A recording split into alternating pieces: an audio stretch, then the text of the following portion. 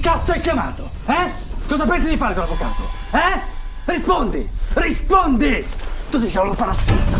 Sei solo un cazzo di parassista!